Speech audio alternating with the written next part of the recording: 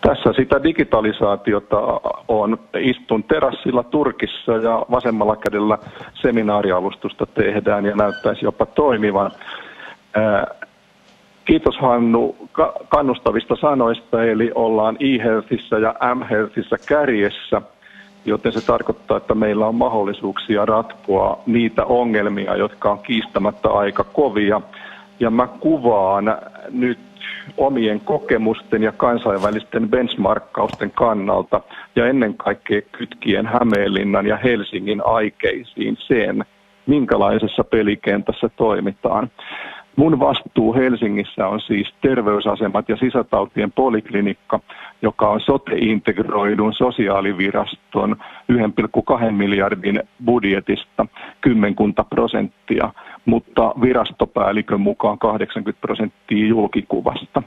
Mä yritän kuitenkin puhua geneerisellä tavalla, eli ikään kuin sote-perspektiivistä, vaikka se avosairaanhoito onkin mun substanssini ydin. Vaihdetaan Arto kuva heitän vaan älylliseksi pähkinäksi sellaisen ajatuksen, että jos nyt sotepalveluita lähdettäisiin rakentamaan puhtaalta pöydältä, niin mahtaisikohan meillä olla rajapinnat. Tällaiset niin kuin sosiaali- ja terveys- ja perusterveydenhuolto ja erikoissairaanhoito ja niin edespäin. Mielenkiintoista on, missä määrin nuo rajapinnat tulee häviämään. Ja alimmaisella rivillä heitän ajatuksen, että sellainen toiminnallinen täysuudistus toiminnan tasolla voisi avittaa sitä järjestämisuudistusta, joka nyt kuitenkin on tulossa. Ja mä fokusoidun erittäin paljon siihen, minkälainen toiminnallinen prosesseiden tasolla tapahtuva uudistus tarvittaisiin. Benchmarkkaus on seuraavassa kuvassa joka on Baskimaasta. Espanjahan törmäsi siihen, mihin me ehkä ollaan törmäämässä nyt, mutta jo 2007.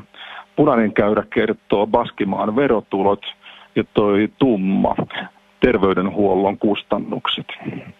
He tekivät toiminnallisen ison uudistuksen ja muutoksen ja tuosta nyt sitten voi päätellä, että ainakin talous saatiin hallintaan ja tota, ei tehty palveluita leikkaamalla, joka on tämänhetkinen puheenparsi täällä kotosuomessa. Sitten mennään asiaan. Tämä kuva kertoo nyt Helsingin suunnitelman hyvinvointikeskuksesta.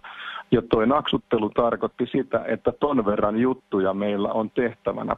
Ei mennä tähän vielä detaljeina, koska mä jatkan eteenpäin. Otetaan seuraava kuva, jonka otsikko on asiakastarve. Asiakastarve. Hämeenlinnassa kysyimme, että mikä tarve olisi ja vastaus asiakkailta olisi, että kun pääsisi nopeasti ammattilaisen puheille. Mutta tota, kyllä äh, nyt tilanne on se, että jotenkin muuten se asiakastarve on ratkaistavana, ratkaistava. Ja tämä kertoo sen, että näyttäisi siltä, että asiakkaat voidaan karkeasti jakaa kahteen kategoriaan on sellainen joukko, jossa on suuri käyttäjämäärä ja yleensä aika triviaali ongelma. Ja se kysymys niillä asiakkailla näyttää olevan, että mistä ongelma johtuu tai ja että miten se ratkaistaan.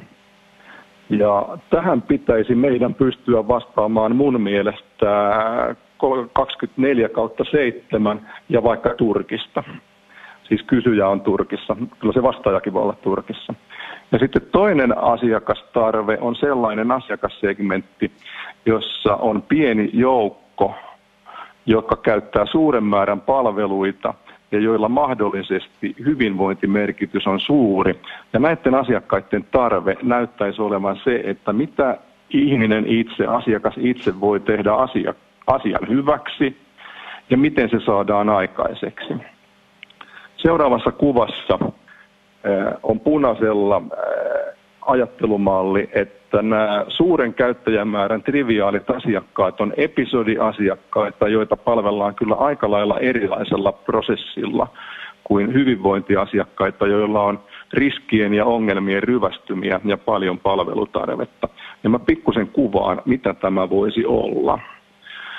Seuraava kuva kertoo Helsingin ajatusta ja Hämeenlinnan toteutusta siitä, miten asiakkaaksi tulon prosessi toteutettaisiin. Se olisi siis oletusarvoisesti sähköinen sisääntulo, käytetään tässä nyt nimeä vaikka ratkaisuportaali, joka ei tarjoile mitä kaikkia palveluita organisaatiolla on tarjolla, vaan se esittää kysymyksiä sen asiakkaan ongelmaan liittyen. Ja äh, tuossa on muutama esimerkki. Ylähengitystieinfektio on lempilapsi älykkäällä oirearvio kysymyksellä, jonka kysymykset pohjautuu asiakkaan vastausten perusteella, päästäisiin todennäköiseen, täs, todennäköisesti täsmällisempään tilanneanalyysiin kuin hoitajan tekemänä. Seuraava ajatus olisi, että neuvolassa voitaisiin toteuttaa vallan hyvin lapsen seurannasta ja kehittymisestä älyllisellä, älykkäällä neuvolatarkastuksella osa tai miksei ikäihmisten pärjäämisongelmissa älykkäällä palvelutarvekartoituksella voitaisiin valmistella asiaa. Ja ellei se itsepalvelu riitä, niin sitten tästä sähköisestä ratkaisuportaalista asiakas kytkeytyisi sitten uudistettuihin palveluihin.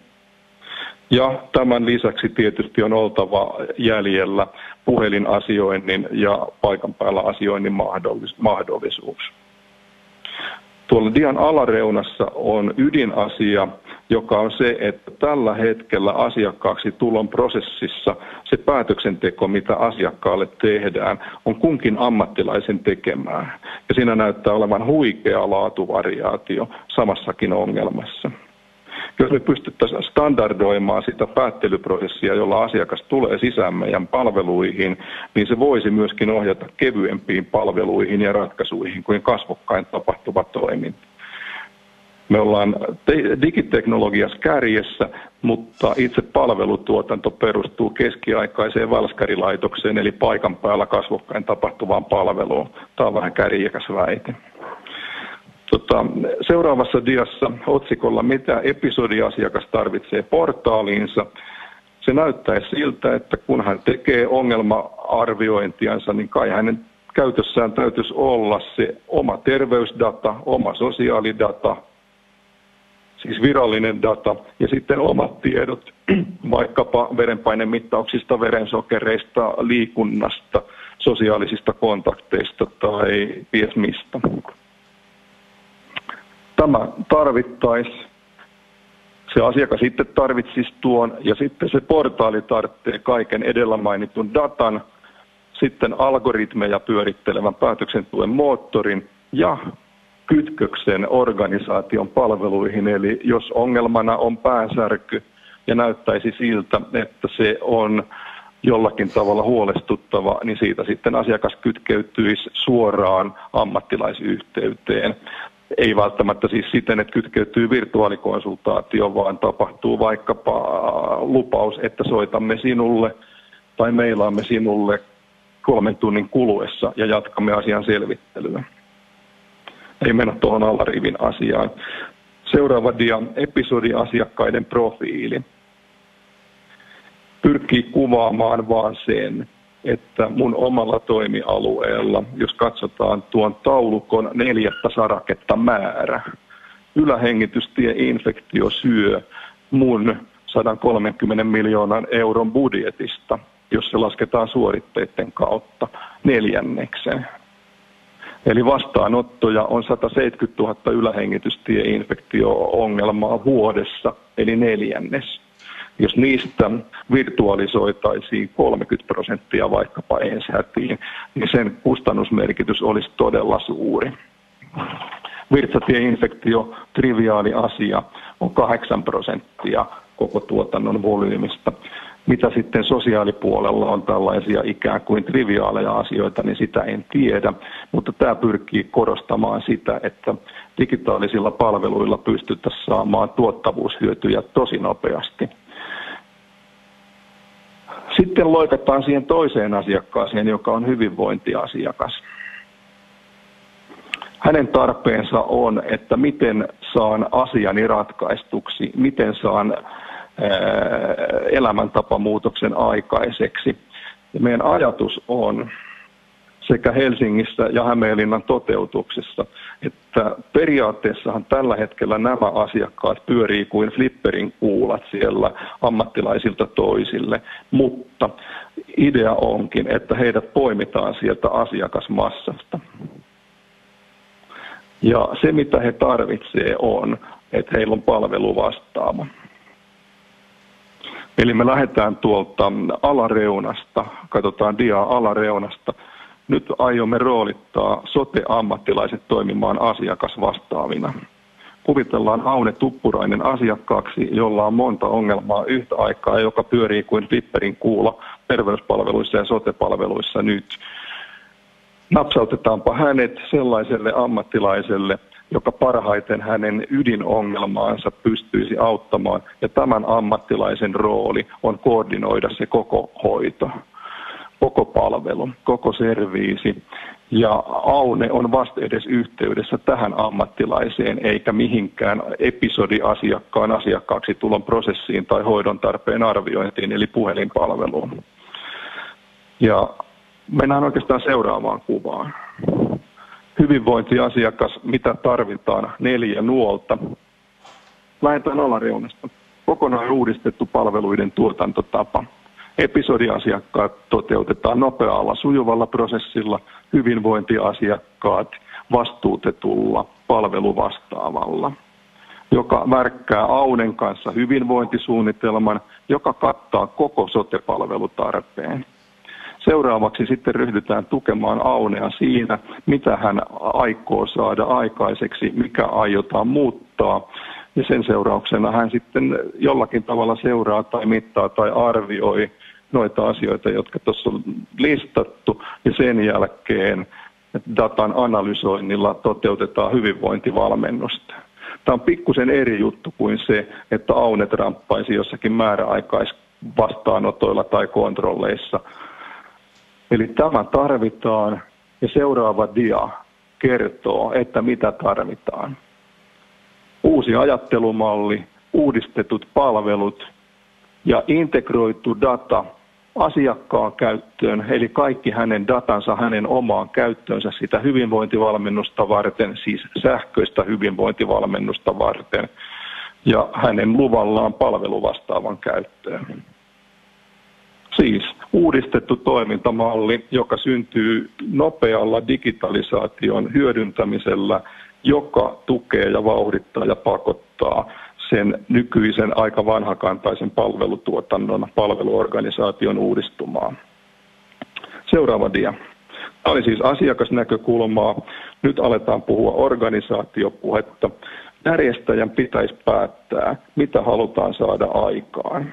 Nythän meidän toiminta on palveluiden tuottamista, eli sitä, että asiakas pääsee palveluihin.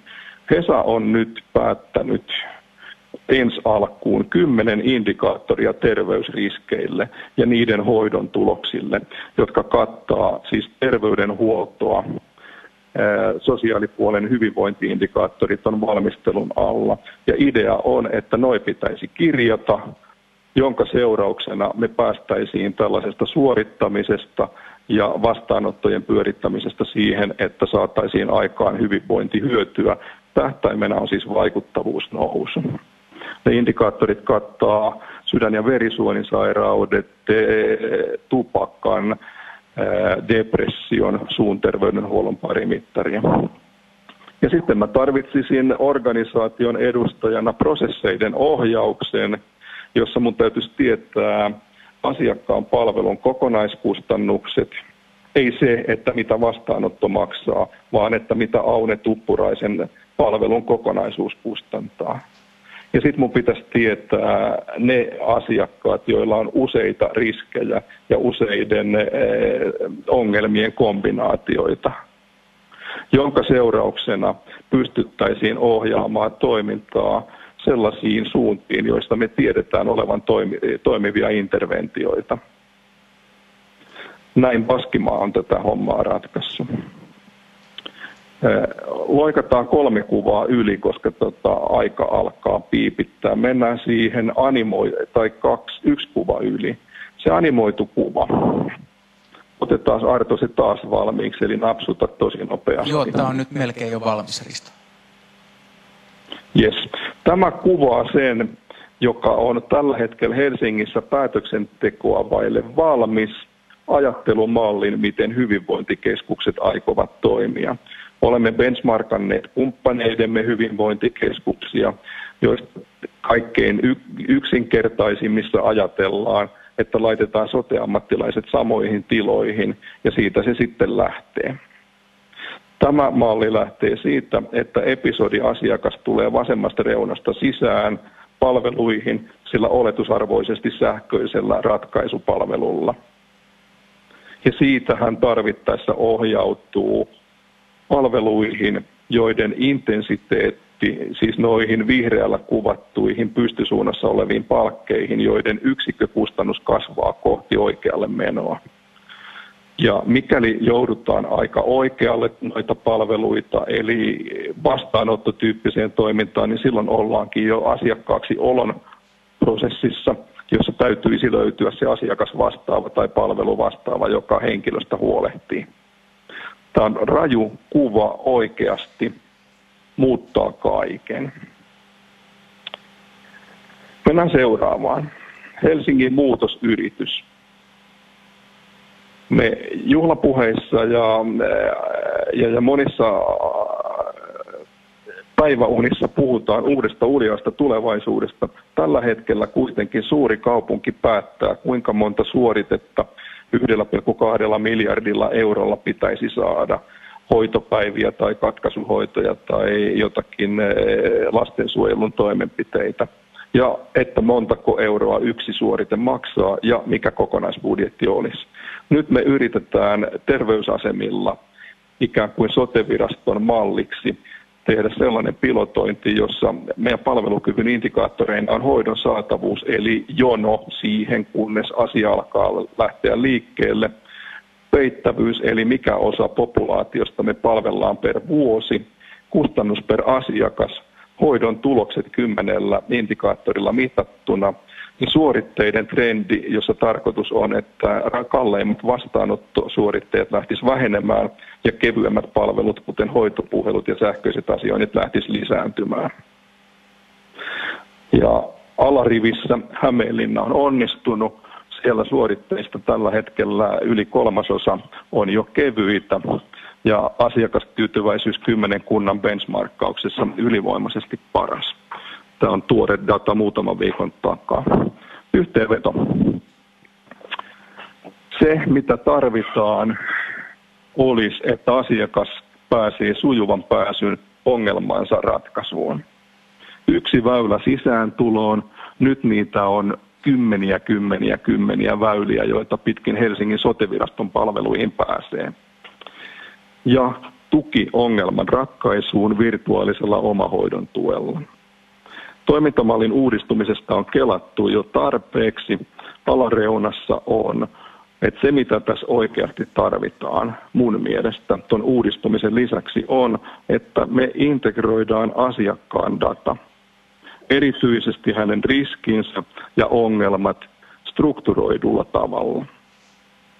Suoritteet ja toimenpiteethän meillä jo on avohilmon kautta ja hilmon kautta. Sitten meillä ei ole aavistustakaan kansallisesti hoidon tuloksista, siis organisaatioilla itsellänsä. Organisaatiot eivät pysty tällä hetkellä raportoimaan hoidon tuloksia. On vaan päätettävä, että me haluamme ne. Nämä data tarjottaisiin asiakkaan hyödynnettäväksi ja organisaation ohjauksen ja prosessihallinnan välineiksi. Tässä on mun ydinviesti, jossa rivien väliin on kirjoitettu, että mitä tämä merkitsee tietojen hyötykäytön kannalta. Kiitoksia. Hannu, otatko hallintaan? Kiitoksia Risto. Saatiin mitä tilattiin. Me pyydettiin visionääristä puheenvuoroja ja ulos tuloa perinteistä bokseista vähän ja haastamaan ajattelua. Ja mä luulen, että me saatiin sen tyyppistä ajatusta. Nyt on tilaa muutamalle kysymykselle kommentille. Osteks kaikki Riston ajatukset? Nyökyttely. Ei täällä, Risto ei näe sinne, mutta täällä päät nyökkää ylhäältä alas, eli, eli taisi kolahtaa ja upota. Mutta tota, onko kellään kysymystä Ristolle? Jari tuolla viittoo takaa.